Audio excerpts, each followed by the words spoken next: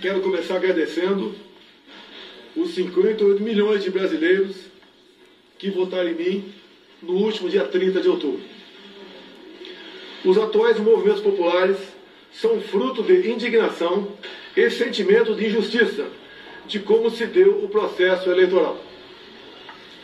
As manifestações pacíficas sempre serão bem-vindas, mas os nossos métodos não podem ser os da esquerda, que sempre prejudicaram a população, como invasão de propriedades, destruição de patrimônio e cerceamento do direito de ir e vir.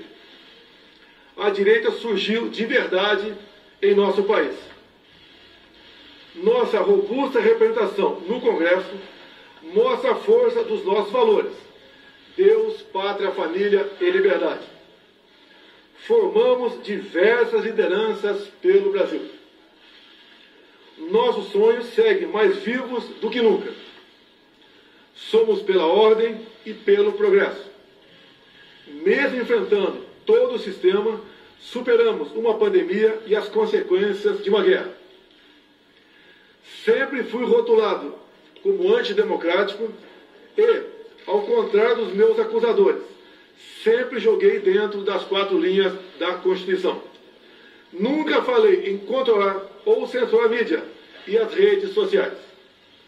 Enquanto presidente da República e cidadão, continuarei cumprindo todos os mandamentos da nossa Constituição.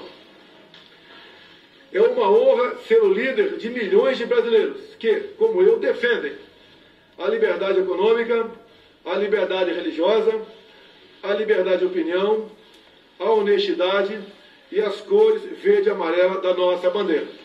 Muito obrigado.